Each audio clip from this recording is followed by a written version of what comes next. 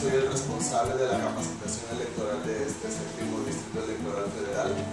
Eh, primero que nada, pues quisiera darle las, las gracias por estar hoy con nosotros.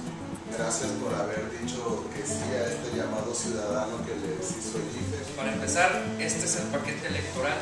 Este paquete va a ser entregado al presidente de casilla y el presidente de casilla que lo tiene que trasladar al. Aquí es donde vienen este, las actas, las boletas. El presidente le va a pedir su credencial de elector, va a verificar que sea la persona, se la pasa al secretario para que la cheque en lo que es este, la lista nominal. Ya que vea que viene en la lista nominal, este, el, presidente le va a dar sus tres este, boletas para que vote. La, hora de instalación de la, de la casilla viene, es a las 8 de la mañana en punto. No confundir con la hora de inicio de la votación.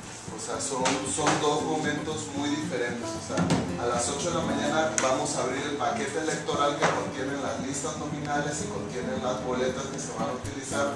A esa hora oficialmente empezamos a instalar la casilla. Dependiendo del tiempo que tardemos en, hacer todo lo que vamos a hacer ahorita, va a determinar la hora de inicio de la votación, porque a partir de las 8 de la mañana el secretario procede a llenar la acta de inicio de la jornada electoral, el presidente y los escrutadores empiezan a armar las, las urnas y empiezan a armar los canceles y luego ya entran los representantes del partido político que también van a estar a esa hora.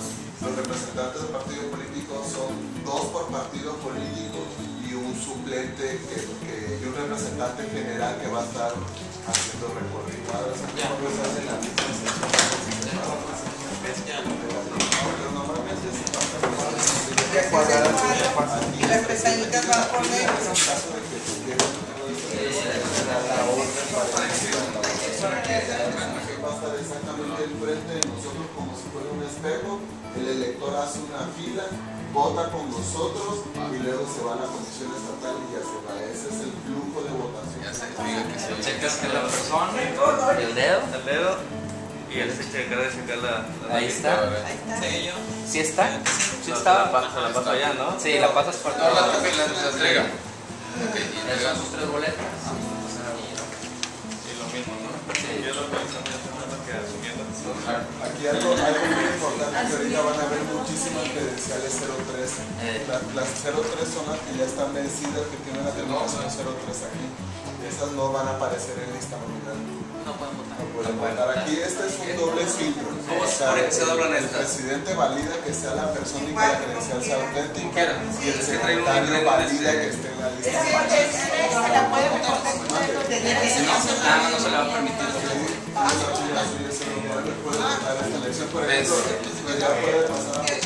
Todos vamos a, a empezar a hacer la clasificación y conteo de votos, que eso es parte de donde está lo principal de todo esto.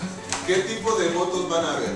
Primero van a haber votos para partido político, es decir, que el ciudadano marque un solo recuadro donde aparezca un partido político.